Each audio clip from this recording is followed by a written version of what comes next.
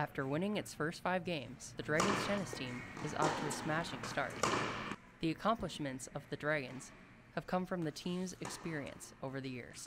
As you spend more time, again, with the girls on the team, um, with the people, you kind of grow together.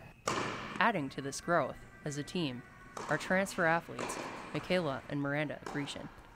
Like the twins um, are a great addition to our team this year. They're very high energy, which kind of uplift everybody around them.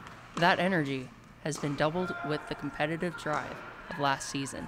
Um, I think in having had a year break from competing, everybody's kind of itching to be out there. Another change for these athletes from last season is a new head coach in Jason Thiner. Even though this is my first year as a head coach, I coached last spring and I've been around the program. As an assistant coach last year, Thiner has confidence in his group to continue their winning ways. You know, we've got very talented tennis players on the team and that's that's one thing and and you know they're continuing to work hard and they, they show up for matches every single time.